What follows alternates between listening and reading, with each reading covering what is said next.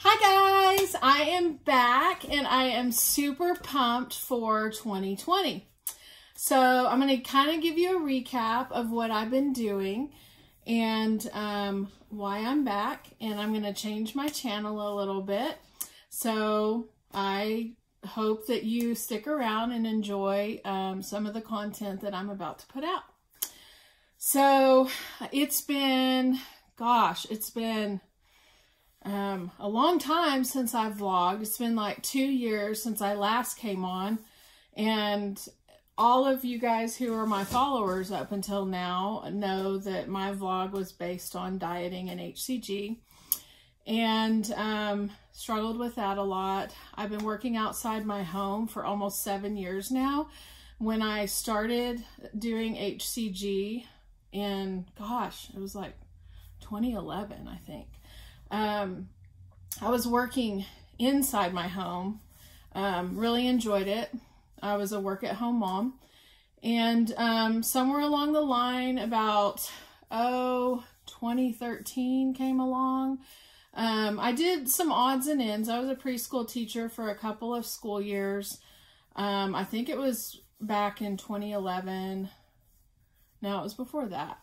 Um, but anyway, um, long story short, um, you know, I've worked outside my home for a long time now, and I've always enjoyed working for myself. Um, that's just the type of person I've always been, um, and I really, really miss it. Um, just to kind of give you guys a background, I used to work at home online for several years. I did my own um, retail business online. It was just an online store. I first started probably in 1999 where I did affiliate marketing for a while. I I mean, I did pretty good. I made some good money during that time and um, I really enjoyed it. It kind of got my feet wet into working at home and it was great being a stay-at-home mom, um, being able to earn some income uh, inside my home. So anyway, I did that for a little bit. Um, then 9-11 happened and um, I was making decent money. I was probably making 30, 40,000 a year at home doing affiliate marketing. Worked my tail off um, doing that, trying to recruit. That's really hard. Um, that's the bad part of affiliate marketing. So after that, um, I started getting into doing my own store online. I was drop shipping. Um, that was really hard. It started out great at first. Um, anybody who's done drop shipping before will probably know what I'm talking about. Um, any resellers out there who um, have tried to do drop shipping, you probably know how competitive it is. Um, a lot of drop shippers end up using the same drop shipping companies or same um, wholesale companies to get their product from. It's very competitive. Um, did very well at first, um, and then it just wore me out. Um, it got very repetitive and very boring doing the same thing over and over again.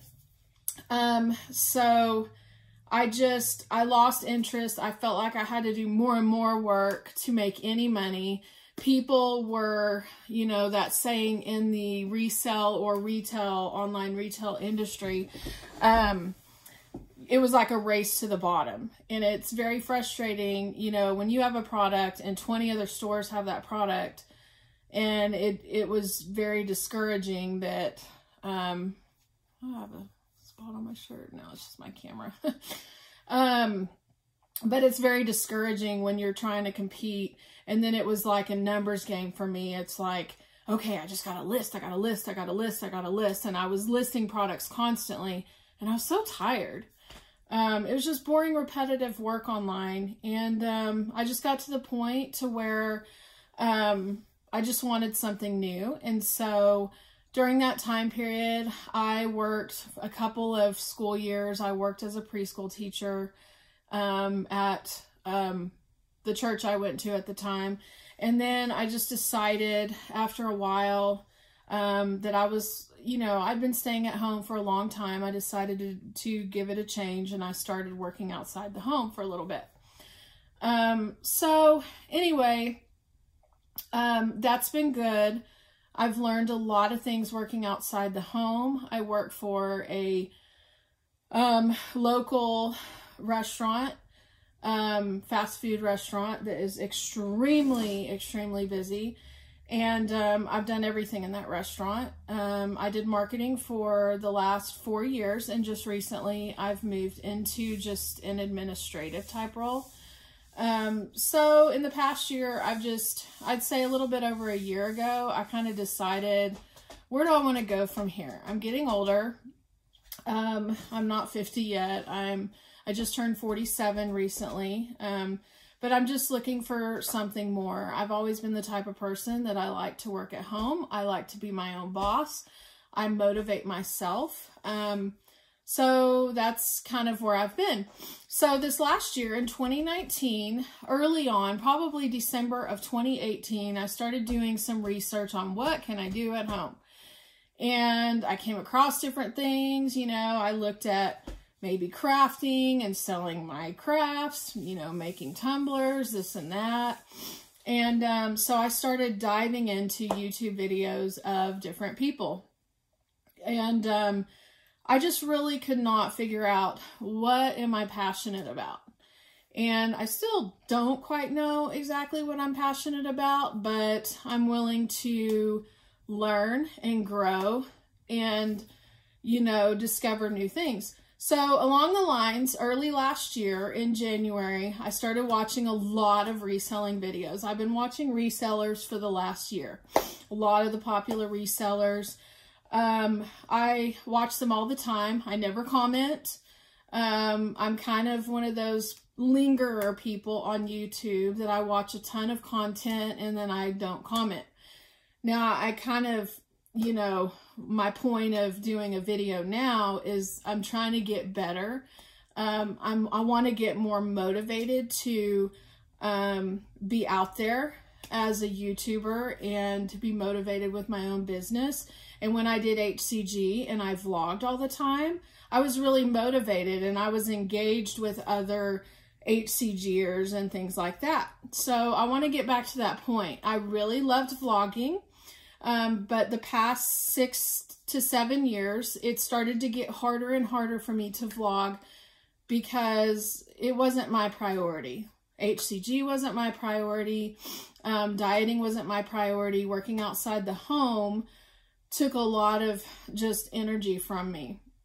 And so earlier this year, I watching all these resellers and their videos, I really enjoyed um, what they had to offer. So I ran into reselling and I ran into Amazon, FBA, FBM, um, eBay resellers, um, people who do, do retail arbitrage, all those kinds of things. And I just dove into um, watching watching those people. You ever look at yourself on the camera and go, oh my God, I'm so stupid looking. Um, anyway, so I dove into uh, watching um, resellers um, and just doing all sorts of different things. And it fascinated me. And so in February of 2019, last year, I decided to start going forward and um, look and just I just hopped right into trying to become a reseller. I made mistakes along the way. There's some things that I bought that I'm kind of stuck with right now, and I'll talk about that in a different video. Um, but intrigued me. So along the way, like watching these other resellers, I'm like, I could totally do that. Um, I just, I love it. And it's so fascinating to me to see the stuff that people find, whether it's bidding on a storage unit, online auctions, um, estate sales and garage sales and flea markets, um, and just all these different avenues of being able to find things that are kind of cool and unique and valuable. I mean, sure, you've got some of the normal stuff that you flip, for a profit, but it's just really fascinating stuff to me. So I decided that that's what I wanted to do. So I I started to buy some product. I had a little bit of money and I dove into Amazon and I sent some product in and I did really well the first month like for the limited amount of money that I had, I generated like $350 um, sales. No, that was profit. Excuse me. It wasn't sales. It was actual profit. Um, and I mainly was doing Amazon and then I was kind of moving over to adding stuff onto eBay and things like that. But along the line, there were some crisis things happening in my family during that time. My oldest son struggling with his marriage. At the time, my daughter was living here with my son in law um, to try to better themselves financially. And then my oldest son came and stayed with us, and there was just a lot of things. So, my mind, I am very, very family oriented person. My kids are like the priority over pretty much everything else outside of our family life. Um, you know, God first and then my family. And so when things happen to my kids or anything like that, I'm very um I I'm I'm very sensitive person and I just have a really hard time um coping and you know, I pray a lot and in dealing with the anxiety and the stress of life. So I kind of put my resale business on hold. I still had products on Amazon since February. I still had products on eBay, but I wasn't growing my eBay business. And so I realized cl getting closer to the end of this past year, like, what am I doing? You know, I'm just sitting here, just not doing anything. And I want more, but I haven't been motivated to do that. So I'm trying to change my way of thinking and start to get motivated on what will satisfy me in my life, what makes me happy. Well, I think that reselling makes me very happy because the stuff that you find is just so cool. I can't really explain it. Um, so that's where I'm at.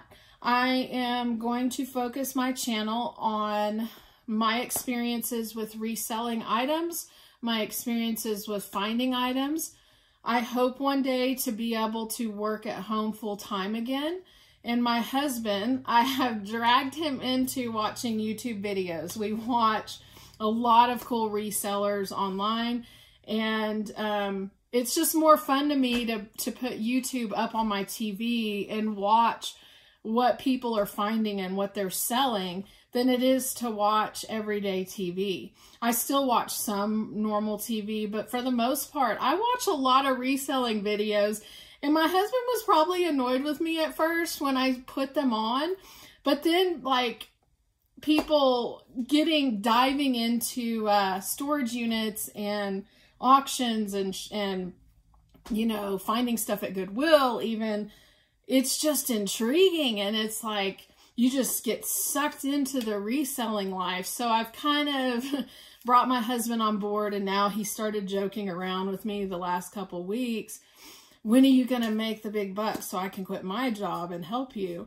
And the last couple of days, I joked around because I told him I needed to start on my YouTube channel again. And I joked around going, you just wait, I'm going to reel you in. So you're going to have to uh, be on the videos with me. And my husband's like, no, no, no, absolutely not well, maybe I can sneak him in or something. I don't know.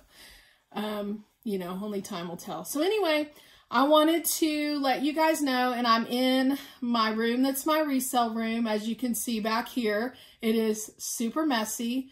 Like, I can't even show you the floor right now because it's very messy. So, um, I'm trying to get organized a little bit. Um, I do have boxes that are numbered, and those boxes, not all of them are full, um, but I'm trying to be somewhat organized. I have a lot of work to do. I love to buy things, and I think this is a common thing with resellers is I like to buy things, but the listing part of it is just so, it gets so boring sometimes. I just like to shop. Um, and I don't even care to keep things. I just like, I'm fascinated with finding things. So like right now, I don't want to show you my whole office because it's super messy. But down there in that box, that this box right here is a box of Sports Illustrated magazines. This box was actually full. This was a lot that I won at an auction and it's full of Sports Illustrated magazines from 1972 to about 1981. And some years don't have very many issues, some have more. So I spent time on eBay checking the sold comps. Um, and so that box was full. I've listed some. I actually listed all of them into my drafts on eBay. So now I just have to take pictures of all my magazines. And I'll show you my, I'll show you my setup. It's over here. You can't see it, but I'll show you that on a different video. Um, but I probably made this first video long enough, but I just want to let you guys know this is where I'm at. My video is going to start talking about reselling and the things that I've sold, maybe the things that I find. Um, and so I hope you guys um, enjoy the content that I put out um, along the way. I hope you find it interesting. If you came here for HCG, right now my dieting thing's on hold. I was doing keto, keto carnivore, um, and then I went on a trip in late October and I did really well. I stayed keto within five days, I gained like 13 pounds. I think I just don't travel well, and I probably wasn't drinking enough water. I was not overeating. I ate too much cheese. Um, but I really found that I like to do carnivore. Um, but I'm not at that point yet. I kind of took a break from November till now. Um, but I, I may talk a little bit about what I'm doing personally because, you know, this is my channel. Um, so I may just talk a little bit about everything. I don't know. But right now I'm going to focus on reselling. Um, I hope that what I say is interesting enough for you guys to stick around. Um, but I did, last thing I wanted to show you today, this is kind of one of the coolest things that I think I have found so far. Um, and I just wanted to show you, I just won this at an auction and I picked it up. And I wanted to show you what it is. My husband calls it Creepy Doll. I just picked it up. Um, but it's this cool, let's see. It's this cool mannequin from the 50s. His name, um, it's Paul Winchell's Jerry Mahoney ventriloquist dummy. And I, I was I was joking around with my husband because I just picked him up today from an auction that I won. And um, I was joking around with my husband because I have some mannequins that I was using for clothing at first. And then I thought, well, that's a pain in the butt. So I don't use the mannequins right now. But when I was first using the mannequins and my daughter lived here, I would set up the boy and the girl mannequin around the corner just to freak them out. Um, so, in my husband, it would scare the crap out of my husband sometimes. Like, we knew they were there, but they going around the corner really fast, you'd forget that they were there, so it would scare you. So I was joking around with my husband, telling him that I was going to hide this mannequin in places so like he would open the closet door and this mannequin would be like staring at him. So he's kind of freaked out. He's worried that I'm going to do that to him. But this mannequin is just so cool to me. Like I wanted him and I was willing to pay up a little bit for him because I just thought he was so cool and vintage. Um, I had this is the first time I pulled him out of the box. Like I said, I just picked him up today. He's got a little bit of um, damage on his fingers. I mean, not damage, but you know, aging, like cracked aging. Um, but he's really cool. Um, and the comps show on eBay that somebody sold one of these and he didn't even have his hat. Um, somebody sold one of these for $350. Um, I paid, I don't want to tell you what I paid. Um, I paid over a hundred. I paid less than 140. Um, but I just thought he was cool. So I wanted to buy him. I don't know if he works. I haven't had time to test him out. He's just really, really cool. Um, here is his body. Um, and then he's got these little vintage shoes um, on. So he's got his outfit on. I haven't seen one of these with a hat. So the guy at the auction house told me that he does like, you know, someone else from Pennsylvania called and was asking about him if he had sold. And of course I bought him for the, you know, I bid on him from the auction. And so he had told him, yeah, he did end up selling and the guy really wanted him. Um, but the interesting story of this one is when I went to pick him up, he's like, do you know how valuable he is? I was like, yeah, I know. and, um, but he, he told me this came from a judge, a judge's house. Um, and he went, I guess he went to the house to look at other items because this auction was not, this was like several estates. This was different items. It wasn't a, just one estate auction. Um, but he, anyway, he told me that, um, that, um, when he went to the house, they had, and he comes with his box. He doesn't have a paper in there. Like I think the original one came with a paper. Um, but he does have his box. Let me see if I can get it and show you. So this is his box that he comes with. Really cool. Um, so he does come with that. He doesn't come with the paper or whatever originally came with it. But he is intact. He has his shoes. He has his clothes and all of that. I hope this hat goes with, with him because I haven't seen one like that. I didn't see one like that on eBay.